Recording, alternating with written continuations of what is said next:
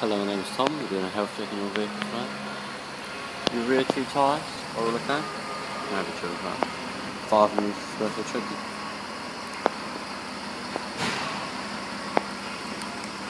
Oil rear suspension is all okay. Your rear brake pads and discs are okay. Pads are on 8mm material. However, your discs are heavily scorned as you can see. I'd advise replacement when we next replace, replace the parts.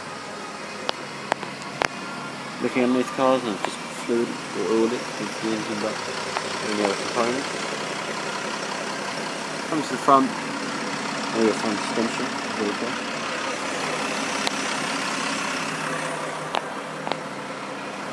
Your front brake pads and discs are all okay.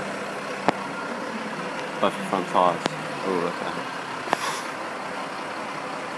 Thank you for choosing Grange. So, I'll be shortly on the results of this health check.